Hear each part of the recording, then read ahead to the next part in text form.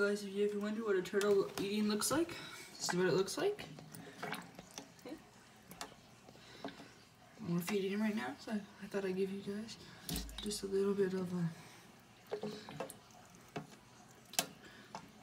look at how he how he eats. So this is how we feed him. We we take him out of his big tank. So his big tank doesn't get dirty. We throw him in this little tank with some water, and then he uh, eats the worms that we throw in. So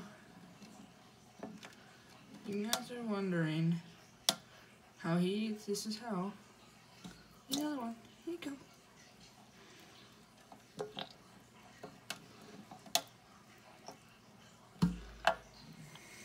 So that's what you guys are wondering, there you go.